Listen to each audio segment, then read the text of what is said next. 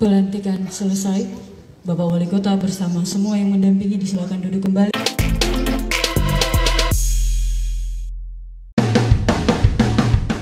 Pengurus tim penggerak PKK Kota Bitung, masa bakti tahun 2021 sampai tahun 2026, resmi dilantik, bersamaan dengan peringatan ke-49 Hari Kesatuan Gerak, TPPKK, Senin, tanggal 31 Mei tahun 2021.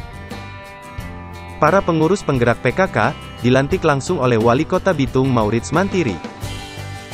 Maurits percaya, bahwa para penggerak PKK, akan melaksanakan tugas dan kewajiban sebaik-baiknya, dengan penuh rasa tanggung jawab, sesuai tugas masing-masing untuk meningkatkan peran dalam menyukseskan pembangunan di Kota Bitung.